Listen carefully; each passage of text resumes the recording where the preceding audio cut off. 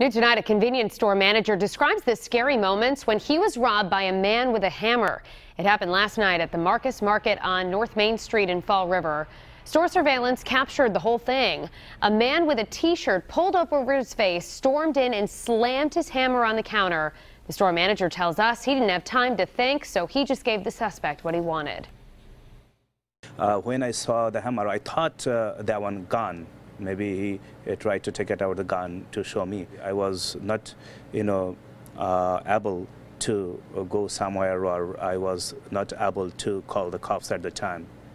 And this isn't the first time this store has been targeted by an armed robber. Back in March, the store manager was stabbed fighting off a man with a knife. Anyone with information on this latest robbery should call Fall River Police. The details now.